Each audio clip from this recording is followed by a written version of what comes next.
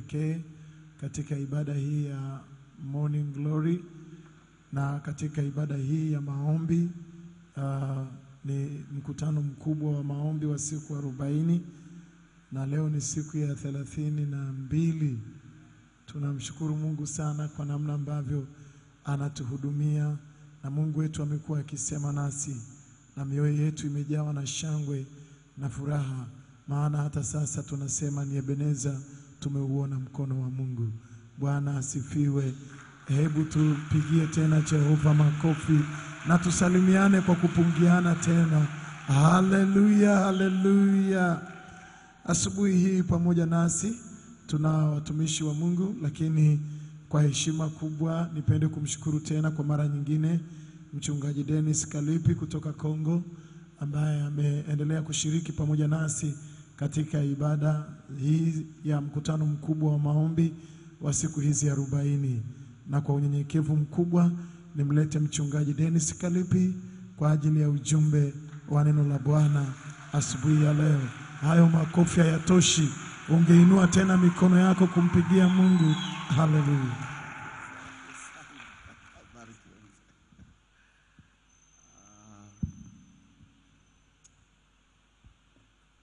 Kwa furaha kubwa tena asubuhi hii ambayo Bwana ametupatia siku mpya ili tuweze kupokea neno kutoka Bwana wetu Mwokozi wetu Yesu Kristo. Basi unaweza kumshangilia Yesu Kristo Bwana wetu. Asante sana, asante sana. Mpendwa, utachukua Biblia yako ili tuweze kuwa na neno la Mungu na hii ni njia moja ambayo tunaweza kutafuta kujifunza neno la Bwana, kwa sababu neno la Bwana tunaipokea ndani ya neno la Bwana. Tasoma pamoja nami katika Yona sura yake ni ile ya ine ama mlango wake ile ya ine na mstari wake ni ile ya tano. Yona mlango wake ile ya ine na mstari wake ni ile ya tano, na nitaenda kwa usomi. Kisha Yona akatoka mjini akakaa kwa upande wa mashariki wa mji, akajifanyizia kibanda kule, akakaa chini yake kwa kivuli, hata aone nini itakayotokea juu ya mji, hata aone nini itakayotokea juu ya mji. Enda pamoja nami katika Luka, habari njema ya Luka. Luka mlango wake ni ishirini na mbili na mstari wake ni ile ya kwanza hadi sita. Luka ishirini na mbili na mstari wake ni ile ya kwanza hadi ile ya sita. Na siku ya karamu ya mikate isiyotiwa chachu ilikuwa karibu, inayoitwa Pasaka.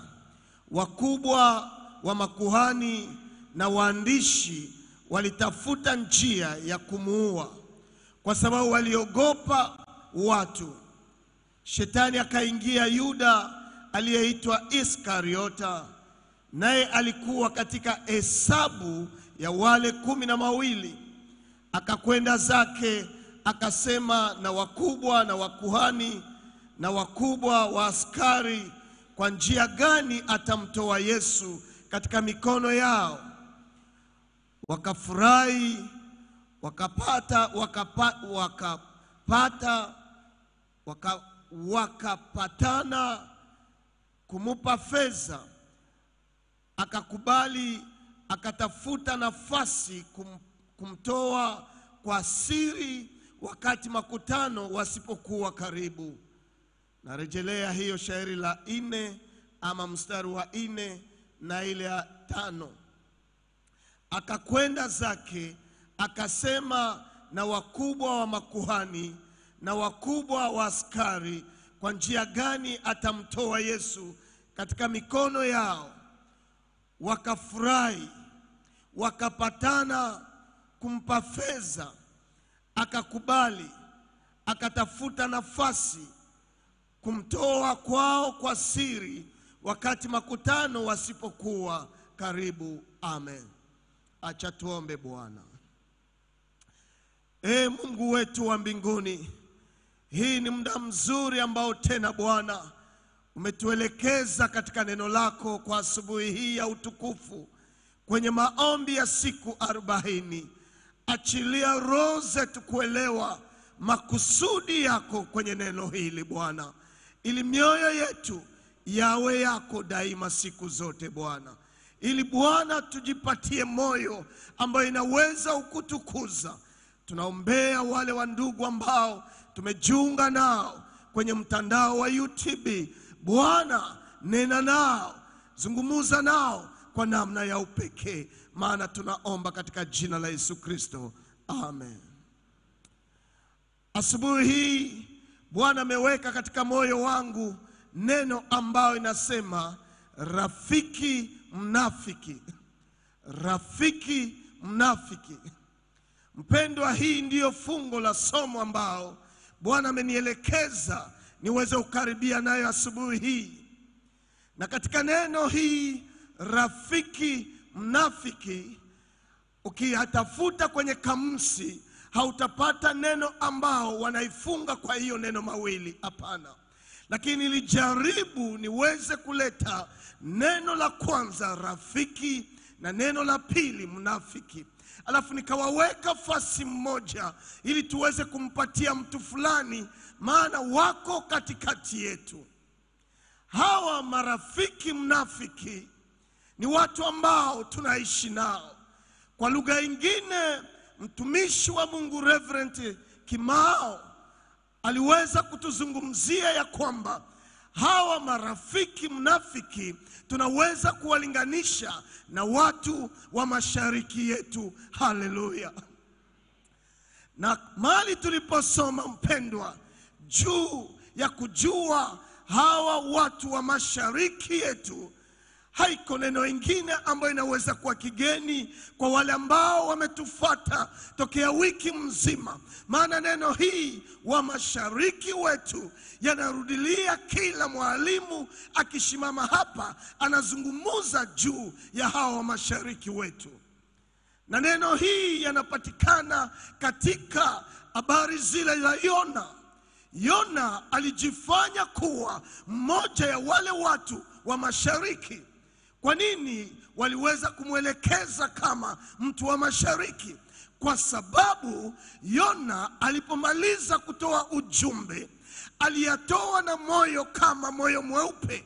Watu wa Ninawi walipokea ujumbe katika hali ya kujua ya kwamba hii ni upendo wa Bwana inaowatembelea, maana kulikuwa siku arobaini iliyowekewa, wasipotubu, wasipopokea neno, Bwana atateketeza, Bwana ataangamiza, Bwana ataharibu kila kitu kwa Ninawi na hao wandugu wa Ninawi walipopokea mtume huyu ama nabii huyu ambaye alitumwa na Bwana juu awaelekeze katika njia ya kuacha mabaya ili waingie katika njia inayostahili Mungu wao aweze kuwarehemu, wakapokea ujumbe katika moyo ambao wanaamini ya kwamba Yona yeye ni mjumbe ambaye ana moyo mweupe lakini ndani mwake Yona hakuwa na moyo mweupe. Ndani mwake mlikuwa rafiki mnafiki. Neno rafiki mnafiki inamaanisha ya kwamba anaweza kushiriki na wewe kwa karibu, anaweza kucheka na wewe, anaweza kuletea ujumbe, anaweza kupatia mipango, mnaweza kula naye, lakini ndani mwake juu mna mnafiki. Hii inaharibu kila kitu yoyote na hawa ni wengi ambao tunatembea nao. Ni watu ambao unaweza kucheka nao, unaweza kuwapatia mikono, unaweza kuwapatia five, unaweza kusema haleluya, wanaweza kuabudu pamoja na wewe, lakini sikia, juu ndani mwao mna kasoro ya mnafiki, na hii inafichama mbali sana, na hii ndiyo ilikuwa ndani ya moyo wa Yona. Yona anatoa ujumbe yenye nguvu ya wokovu, lakini ndani mwake mna unafiki ya kwamba hataki hawa watu waone siku zao, wapone katika ghadhabu ya Bwana, waepuke hukumu ya Bwana, lakini yeye anaweka tena mtego. Ndiyo mtumishi wa Bwana mzee Kimaro alisema ya kwamba Yona akajipatia nafasi kwenye mashariki akae, ili aone jinsi gani Bwana ataweza kuangamiza mji. Moyo wake ilitamani Bwana aangamize mji, lakini juu tuna Mungu mbinguni. Huyu Mungu ni wa rehema, haleluya! Huyu Mungu ni mwenye kujaa rehema za ajabu, aliweza kusameheni nawe, haleluya. Mpendwa, kuishi na hawa marafiki mnafiki haiko kazi rahisi, kwa sababu mwenendo wao yanaonekana kuwa ni watu wanakuunga mkono, na yanaweza wezekana uko hapa asubuhi, yanaweza wezekana unanifata kwenye YouTube, inaweza wezekana hata ndani ya moyo wako uwe mnafiki. Sikusema ya kwamba watu wataigundua kwa rahisi, lakini sikia mpendwa, roho ya rafiki mnafiki ni kuangamiza, ni kuchinja, ni kuharibu, ni kusimamisha siku zako usione siku zako. Ndio huyu Yuda ambaye tumemsoma hapa, rafiki mnafiki wa Yesu Kristo. Huyu Yuda akajifanya kuwa mtu wa mashariki kwa sehemu ya Yesu Kristo wanatembea pamoja na Yesu. Alikuwa na ukarimu ya ajabu sana, maana neno la Mungu linasema ya kwamba Yesu akamkabidhi Yuda kuchunga mfuko wa hazina. Unajua, kuchunga pesa si kitu rahisi, na Yesu akaachililia hiyo nafasi awe minista miongoni mwa government yake pamoja na wanafunzi wake kumi na wawili, akampa nafasi kubwa ya kuchunga hazina na Yesu wakati anampatia hii alijua pia Yuda, lakini Yuda ndani mwake mkawa roho mbaya yakamwingilia, na hii roho yakavalisha unafiki ndani mwake, maana Biblia inasema na shetani akaingia katika moyo wa Yuda ili aweze kumtumia. Angalia pale mahali tumetoka kusoma ndani ya Luka ishirini na mbili. Ukiangalia pale Luka ishirini na mbili, Biblia inasema ya kwamba shairi lake la tatu ama mstari wa tatu, shetani akaingia Yuda aliyeitwa Iskariota, naye alikuwa katika hesabu ya wale kumi na wawili. Shetani akaingia Yuda. Mpendwa, mtu ambaye anaweza kutosha katika urafiki wa kweli ni mpaka siku ambao unaachilia shetani apate nafasi katika moyo wako. Shetani alipoingia katika moyo wa Yuda akaanza kuumba maumbile ingine ya unafiki ndani ya maisha yake. Lakini sikia mpendwa, Biblia inasema huyu Yuda alikuwa katikati ya wale wanafunzi kumi na wawili. Alikuwa katikati. Kukuwa katikati inamaanisha ya kwamba hakukuwa mtu wa mbali, ni mtu ambaye mnashinda naye. Alikuwa katikati. Hawa watu ambao wako katikati yetu, sikia mpendwa, wanaweza kuwa wanafiki katikati ya maisha yako. Usimwone mtu unatembea naye unafikiri wote wanakupenda. Hapana. Usione mtu mnaimba naye unafikiri ya kwamba wote mko pamoja. Hapana. Alikuwa katikati. Yanaweza wezekana yawe hata ndani ya jamaa yako, awe katikati yenu. Yanaweza wezekana awe ndani ya kazi mahali mnashinda, ni mtu ambaye ni wakati si mtu wa nje. Mnafiki kwa kumtazama kwa ukweli, unaweza kufikiri ya kwamba ni mtu ambaye anakuwa na wewe, lakini sikia, ndani mwake mna sumu ya ajabu. Ukiwa hivi macho kwa macho, anaongea lugha ingine, lakini ukigeuza kichwa, anaongea mambo mengine, na mkono wake ni rahisi kushota juu yako. na huyu Yuda alikuwa katikati yao. Tatizo ni kwamba kwa siku zetu za leo tunatatiziwa na wale wa rafiki munafiki, maana wanakuwa katikati yetu, wanaishi nasi, tunalala nao, penginepo hata tunakula nao, tunapanga nao miradi, lakini sikia, juu wao ni wanafiki wao si marafiki kweli kweli, wanakuwa na lengo ya kuua, kuchinja, kuharibu. Maana bwana yao kazi yake ni mwovu, anakuja kuua, kuchinja na kuharibu.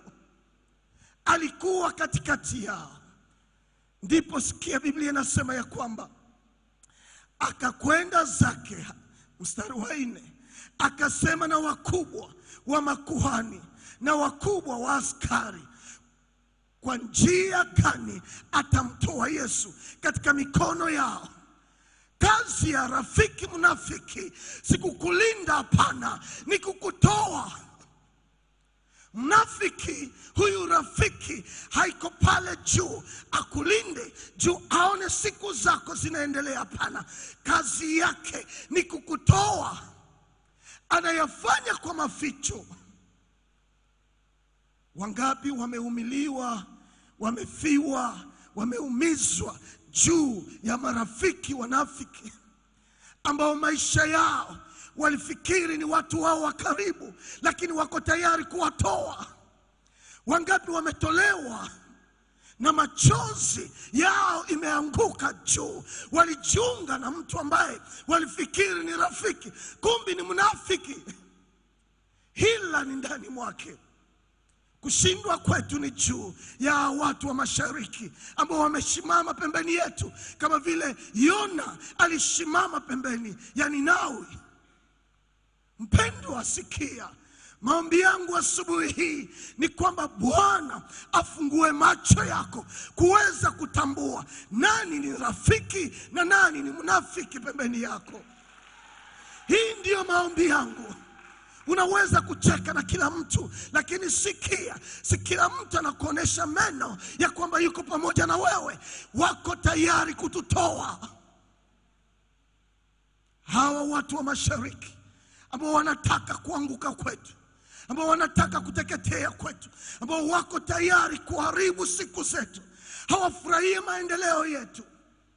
Maana hawa waliokaa na Yuda, neno la Mungu linasema makuhani, watu wa nyumbani wa neno la Bwana. Neno la Mungu nasema waandishi, watu wanaojua sheria, watu wanaojua ukweli, lakini moyo wao iliona kwamba Yesu amekuja na ushindi wa ajabu, wakatafuta njia ya kumuua. Haleluya! Lakini sikia, mnafiki rafiki huyu Yuda Iskariote akatafuta njia ya kumtoa Yesu. Pengine unaumizwa, unapanga kile, unafikiri umefanya mradi mzuri na unakutana kwa mwisho wake imeshindikana. Mpendwa, hii si adui wa mbali, hapana, ni adui mnafiki. Pengine umeumizwa katika mwelekeo wako, unasema leo nimeona Bwana, lakini jioni unakutana mambo yote yamekwama. Chunguza vizuri.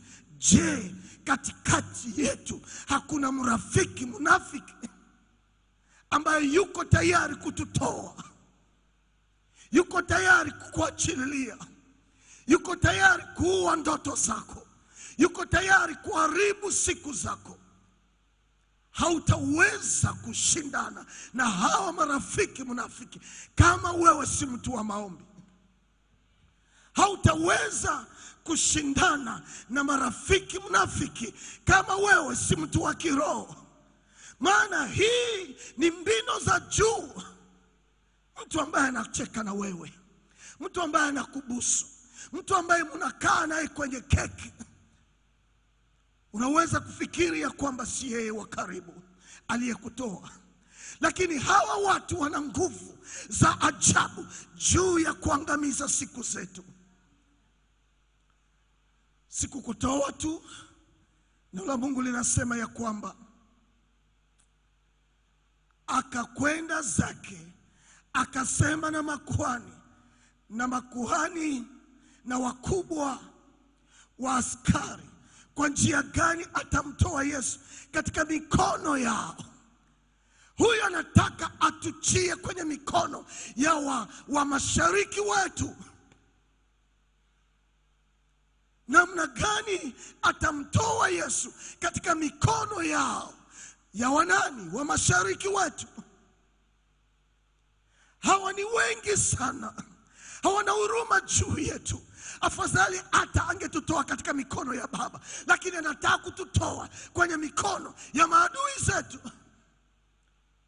Ndio mwandishi alisema, Bwana, ngangana nao watesi wangu, maana watesi siku zote wako ambao wanataka kuharibu siku zangu. ee Bwana, ngangana nao Yesu Kristo, maana watesi wako na watesi hawa wanajigawa kwa njia mbili. Njia ya kwanza ni rafiki mnafiki, njia ya pili ni wale ambao watatimiza maagano mabaya juu yetu. Namna gani atamtoa kwa mikono yao? Pengine umeshindwa juu tayari umetolewa kwa mikono ya maadui zako na kila kitu akikuongelesha unajiuliza, huyu mtu analala mbinguni, amejuaje gizi leo niko hivi? Amejuaje tatizo langu? Ame... tayari umetolewa. Leo tuko hapa kurejesha mikono yetu kwa mkono wa Bwana. Haleluya! Leo tuko hapa asubuhi kuweka mraba, kusema imetosha, tumetolewa siku za kutosha. Siri haiko tena katika maisha yako, kila kitu umegunduliwa. Si juu wewe si mwaminifu, ni juu rafiki wako, ndani mwao mna rafiki mnafiki, na ukiwa na hawa watu hauende mahali, hauende mahali, na hakuna kitu chochote utakachogusa kifaulu, maana kazi yao ni kuangamiza siku zako. E mpendwa, sikia mstari wa tano, nasema waka, wakafurahi. Nani anafurahi? Hawa wakubwa ambao wanataka kuangamiza siku zetu. Kuna watu ambao wanakaa wanangoja hawa marafiki mnafiki, ili waone kisi gani wataharibu siku zetu, mpendwa, na roho yao inachangamuka kusikia ujumbe ya kwamba leo nimemtoa. Wakafurahi. Unaofurahi nao usiwaze wote wanafurahi na wewe. Unaofurahi nao usifikiri wote wanafurahi na wewe, maana tayari uko mateka kwao, tayari uko mateka kwao. Kanisa la Bwana, hii ni muda ya kusimama na kungangana na hawa marafiki wanafiki ambao wanakuja kuharibu kila kitu. Maana neno la Mungu linasema alipoambia hiyo habari wakafurahi, watesi wakafurahi, wakafurahi, wakapatana kumpata kumpa fedha. Hawa marafiki mnafiki wanajua kukaa kwenye mapatano na katika mapatano yao ni juu wapokee pesa ya rushwa, juu waharibu siku zako. Sikia mpendwa, yanaweza wezekana maisha yako unapata fedha ya rushwa juu ya kusimamisha maisha ya watu na kuagiza ya kwamba hii si mapenzi ya Mungu, hii si mapenzi ya Mungu. Haijalisha gharama gani watakao kupatia. Kama mpendwa, mikono yako yanagusa fedha chafu, anayeua kwa upanga atauawa kwa upanga. Anayeharibu maisha ya watu kwa sumu, na yataharibiwa kwa sumu. Maana mwisho ya hawa wanafiki ni kujifunga kamba. Mwisho ya hawa marafiki, haijalishe wanaweza pokea fedha, mwisho yao ni maangamizo. Ingelikuwa heri toka katika sehemu hiyo. Neno la Mungu linasema ya kwamba wakapatana jinsi ya kumpa fedha, akakubali, akatafuta nafasi kumtoa kwao, akatafuta nafasi. Unafikiri hawa marafiki wanafiki hawajua nafasi zetu? Wanajua nafasi zetu na wana akili ya ajabu sana. Mpendo, usitembei katika Tanzania unawaza kwamba hawa watu hawako, wako hapa. Hii si historia ya huko juu kwenye Israeli, hapana. Hii ni historia, historia ambayo tunayaishi. Wakatafuta nafasi mahali ambapo watu wengine hawatajua. Hawa marafiki wanafiki wanajua mahali kote ambapo unaingilia, wanajua kona zako, wanajua mpango wako. Baada ya kazi wanajua unakaa wapi, baada ya nyumbani wanajua, wanajua hata sahihi umeingia kanisani, wanajua hawa watu, na wana nia ya kutafuta nafasi ya kututoa. Na hawa watu ni wajanja. Kisikia Biblia inasema ya kwamba wakamuuliza yule tutamjua namna gani? Akawapa alama. Alama hii, yule ambaye nitakayebusu ndiye yule ambaye mtakayemshika. Yuda anaweza kuja kwa njia hii ya kukubusu. Unafikiri kubusu kwake ama kushika kwake hii ni juu ya upendo? Hapana, ni unafiki ya sumu juu haribu siku zako. Namshukuru Bwana kwa sababu neno la Mungu liko wazi, natuonesha wazi ya kwamba Yesu alipoona Yuda Iskariote anakuja na usujaa wake, Yesu akamwambia Yuda, unamtoa mwana wa watu kwa alama, kwa kumbusu. Na hii ni ndani ya Mathayo 26 mstari wa 47 hadi hamsini. Mathayo 26 47 hadi hamsini. Yesu akamwambia Yuda, unamtoa mwana wa watu kwa njia ya alama ya kumbusu. Na Yuda alikuja na neno tamu sana, akamwambia Yesu rabi, akamwita rabi, akamwita mwalimu, lakini neno hii nyuma yake mna sumu. Hamwite rabi juu ni rabi, anamwita rabi juu amwelekeze kwa maadui zake. Watu wa mashariki wametungoja huko barabarani, akambusu. Lakini Bwana Yesu apewe sifa, kwa sababu neno la Mungu linasema Yesu akamwambia rafiki, rafiki, unamtoa mwana wa watu kwa kumbusu. Yesu aliendelea kumwonyesha Yuda ya kwamba anampenda. Mpendwa, ombea maadui zako, ombea maadui zako, ombea maadui zako. Kwa mwisho, ninataka kusema nini asubuhi hii? Ushindi juu ya rafiki mnafiki ni kwa njia ya maombi peke yake, ni kwa njia ya maombi peke yake. Hakuna dawa ingine, maana wako na hila, hauwezi kuwatambua. Kuwatambua ni vigumu sana, Haijalishe wamepanga chama.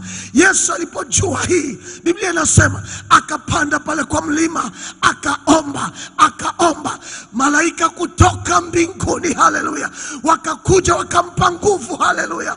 Malaika wakashuka ili wampe nguvu mbele ya watesi wake. Uwezo mkubwa ya kuvunja rafiki mnafiki ni njia ya maombi. Maana katika maombi rehema za Bwana zikingali, Bwana ataachilia malaika zake kuya juu yako ili wakupe nguvu. Haijalishe umebeba msalaba, haijalishe umebaki peke yako, haijalishe umepasuliwa mavazi, haijalishe, lakini sikia, ushindi ni kwa upande wetu. Ndio Yesu akasema yote imekwisha, haleluya, yote imekwisha, haleluya, yote imekwisha, haleluya. Rafiki mnafiki atugangane naye kwa makofi? Hapana. Rafiki mnafiki atugangane naye kwa masemi? Hapana. Tunagangana naye kwa magoti. Magoti ndiyo fimbo kubwa kwa hawa watu. Ndio Yesu alienda kwa magoti. na hii unaiona wazi kama unaangalia hile kitabu jinsi Yesu alienda kwa maombi, unaweza kuiona ndani ya Luka tu. Hiyo Luka utaona jinsi gani Yesu aliingia kwa magoti. Luka ishirini na mbili arobaini na saba arobaini na nane yanatueleza wazi ya kwamba arobaini na moja arobaini na tatu Luka ishirini na mbili arobaini na moja arobaini na tatu Yesu akaenda kwa magoti. Yesu akalia kwa baba yake. Yesu akainua. Hawa marafiki wanafiki mbele ya baba, na jasho ikageuka kuwa damu juu ya uchungu mkubwa ambao alikuwa nayo. Yesu akaona hakuna mtu anaweza kubeba jasho ya ya damu, hakuna mtu anaweza kumsaidia katika mzigo huu. Yesu akaacha wanafunzi wake, akajikuta peke yake. Mpendwa, kuna wakati ingine utajitenga na walio wa karibu, ili wewe mwenyewe uoneshe Bwana marafiki wanafiki ambao wanasimama na wewe. Ndipo Biblia inasema hivi kwa arobaini na tatu malaika kutoka mbinguni malaika kutoka mbinguni wakashuka, haleluya, wakampa nguvu Yesu Kristo, nguvu ya ushindi bado ikingali, nguvu ya ushindi bado ingali nasimama. Leo asubuhi usione hawa marafiki wanafiki, lakini aenda kwa magoti, maana vita yetu ni ya magoti. Mbinguni itafunguka, itaachilia malaika zake wakupe ushindi mbele yao. Haijalishi wamepanga, haijalishi wameinuka, haijalishi wanakutega, haijalishi wamekutoa, lakini kwa magoti tu, mbinguni italeta ushindi, mbinguni italeta maajabu. Malaika mbinguni watateremuka mpaka leo wanaweza kuteremuka, hata leo wanaweza kuteremuka, hata saa hii wanaweza kuteremuka. Kama utaenda na hawa watu katika moyo wa huruma ya ajabu mbele ya kiti cha enzi, malaika mbinguni watateremuka ili wakupe nguvu juu ya watesi wako. Acha Bwana akubariki. Karibu baba, mtumishi wa Mungu, tuelekeze karibu na Bwana. Haleluya kanisa, kanisa. Bwana Yesu asifiwe. Tunamshukuru Mungu kwa ajili ya mchungaji na kwa ajili ya neno lake ambalo ametupa. Sikia, wakati tunapoenda kuingia kwenye maombi, tunamshukuru Yesu ambaye ametufundisha ya kwamba hatutakiwi kushughulika na Yuda, tunatakiwa turudi kwa Mungu wetu aliye hai na kumwomba. Bwana Yesu asifiwe. Ni kweli kabisa, Yuda ameinuka. Ni kweli kabisa, Yuda ameinuka na kutupinga na amekuwa rafiki mnafiki, na hawa watu tunao, hawa watu wapo wengi sana, wapo wengi sana, lakini hatuna haja ya kushughulika na Yuda. Tunapaswa kurudi kwa Mungu wetu, tunaanza kumweleza na hatuachi kuangalia kile tunachokiendea. Yesu hakuyumbishwa na, na Yuda alichokuwa anakifanya. Yesu aliendelea kuangalia bado msalaba anaouendea, akarudi kwenye madhabahu akam- akamwomba Mungu na mbingu ikaachilia msaada kutoka patakatifu. Acha mbingu itoachilie msaada asubuhi ya leo kutupigania kwa ajili ya marafiki wabaya, marafiki ambao ni wanafiki, wakwambia haya kula kunywa, lakini moyo wake hauko pamoja nawe. Hacha mbingu itupigania asubuhi ya leo kanisa. Haleluya! Naomba usimame pale ulipo ili tukaombe. Time is over. Naomba tusimame ili tuweze kuomba. Na wewe ambaye unasema ngoja nisogee mbele mara moja, maana hao marafiki wengine wa Yuda mmeshawagundua kina Yuda, unatamani kuomba asubuhi ya leo, naomba inua mikono yako juu. Unayeweza kusogea hapa mbele, sogea mara moja. Acha Mungu wetu atutetee asubuhi ya leo, kama Yesu aliweza kuomba, akaomba na malaika wakashuka kumsaidia. Hakuacha kuendea msalaba, hata kama Yuda alimsaliti, lakini bado kazi ilienda na ukombozi ulifanyika kwa jina la Yesu Kristo wa Nazareti. Inua mikono yako juu, sema e Bwana Yesu, ninakushukuru maana nimejua leo na nimegundua ya kwamba hao marafiki wanafiki ninao, lakini Baba, ninaomba damu yako inene mema kwa ajili yangu, hila zao na mipango yao isifanikiwe kuua kesho yangu, isifanikiwe kuliua kusudi lako katika maisha yangu. Kwa damu ya Yesu kwa damu ya Yesu. Ninanyunyuza damu yako nikiharibu hila zao za hao marafiki wanafiki, hila za Yuda, hata kama amepewa vipande vya fedha, hata kama ameahidiwa cheo. Asubuhi ya leo, Baba, nitetee peke yako, achilia msaada kutoka patakatifu pako ili kunipigania kwa damu ya Yesu. Ninatabiri asubuhi ya leo kwamba future yangu haitakufa kwa sababu ya hila zao. Kwa damu ya Yesu haitakufa kwa sababu ya hila zao na maneno yao na vikao vyao, kama Yuda na majemedari na wakuu wa makuhani. Kwa damu ya Yesu, kwa damu ya Yesu, kwa damu ya Yesu. Msogea mbele za Bwana, wapangua hao marafiki wabaya, hao marafiki wanafiki, lakini tabiri ya kwamba hawatamaliza kesho yako. Baba, katika jina la Yesu, asante kwa ajili ya neno ulilotuletea kupitia kinywa cha mtumishi wako, ya kwamba tunao marafiki wanafiki. Kwa jinsi ya nje hatuwezi kuwajua kirahisi, lakini wewe unawajua. Ila asubuhi ya leo tumesimama kwenye madhabahu na mikono yetu tumeinua juu tukikuomba, e Bwana, kanisa lako hili, watoto wako hawa, kwa damu ya Yesu, kwa damu ya Yesu, wale marafiki wabaya, wale marafiki wabaya, marafiki wanafiki, wasifanikiwe katika hila saa, wasifanikiwe katika hila saa. Tunakuja mbele zako, e Bwana, tufanyie msaada kutoka patakatifu pako na hekima yako na neema yako, namna ya kukanyaga kushoto na kulia, maana wapo e Bwana, utusaidie kuweza kuomba. Tunaomba nguvu ya maombi juu ya watoto wako, tunapangua hizo hila zao kwa damu ya Yesu kwa damu ya Yesu tunapangua hizo hila, tunapangua hizo hila, tunapangua hivyo vikao, tunapangua kwa damu ya Yesu.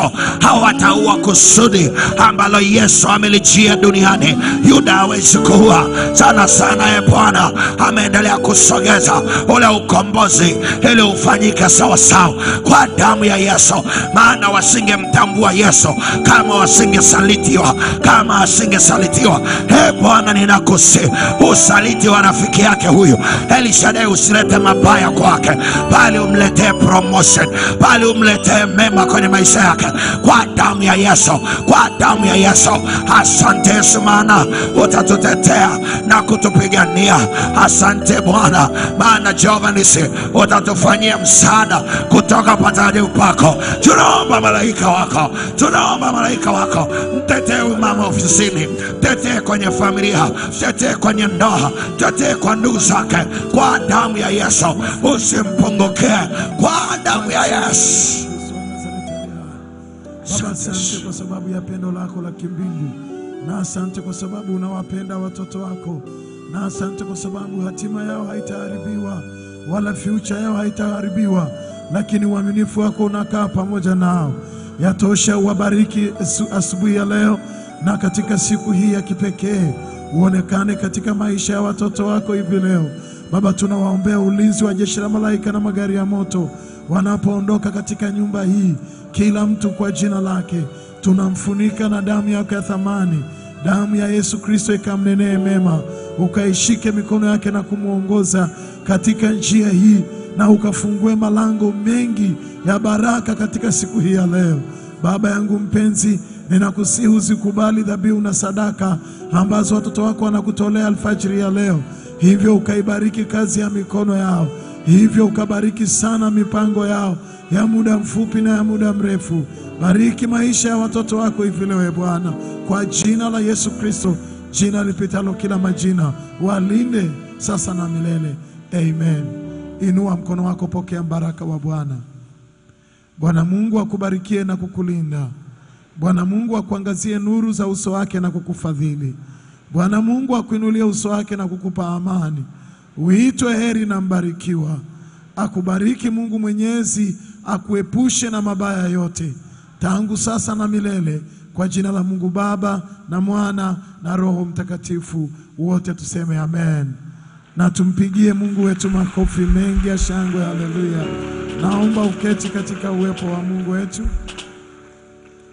Naomba uketi na chukua sadaka yako nzuri asubuhi ya leo, unapomtolea Bwana dhabihu na sadaka, na utukufu wa Mungu ukufunike na uwepo wa Mungu uende pamoja nawe, uwe na siku ya baraka na siku yenye neema.